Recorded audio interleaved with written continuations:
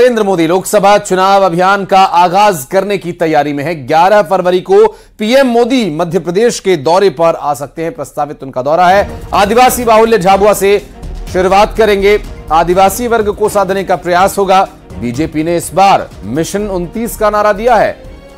और ऐसे में प्रधानमंत्री नरेंद्र मोदी के झाबुआ के प्रस्तावित दौरे से बेहतर भारतीय जनता पार्टी के लिए और क्या हो सकता है?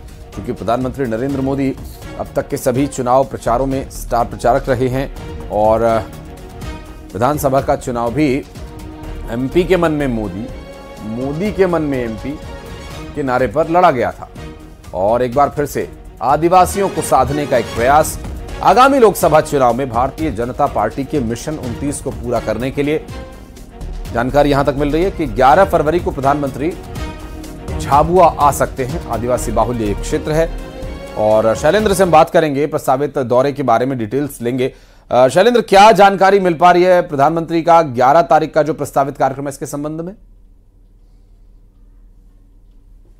देखिए, बिल्कुल, मध्य प्रदेश में 11 तारीख को प्रधानमंत्री नरेंद्र मोदी का ट्राइबल बाहुल इलाके झाबुआ में दौरा प्रस्तावित किया गया है। और ये ये ये दौरा जो है, वो लोकसभा चुनाव के लिए बेहद महत्वपूर्ण माना जा सकता है। देखिए, प्रधानमंत्री लोकसभा चुनाव के ठीक पहले मध्य प्रदेश में आ रहे हो। देखिए, अगर मैं बात करूँ पिछले उनके दौरों की, जिस तरीके से जब जब चुनाव के पहले भी जब वो आए थे तो आदिवासी वर्ग को साधने के लिए तमाम तरह की योजनाओं की उन्होंने बात कही थी और न केवल बात कही थी बल्कि उनको कहा था कि ये मोदी की गारंटी है। और जिस चाहे वह शहडोल का दौरा हो सिकल एनीमिया को लेकर जो बात कही हो या फिर राजस्थान और मध्य प्रदेश के बॉर्डर के इलाके में जो एक बड़ी जनसभा आयोजित की गई जिसमें से न केवल मध्य प्रदेश के बल्कि राजस्थान के आदिवासी भाइयों को भी बुलाया गया था। तो कई महत्वपूर्ण सौगातें जो देने का काम है वो मध्य प्रदेश की बीजेपी की सरकार के साथ बिल्कुल और ग्यारह तारीख को देखना होगा कि प्रधानमंत्री क्या कोई नई लाइन लेकर चलते हैं मध्य प्रदेश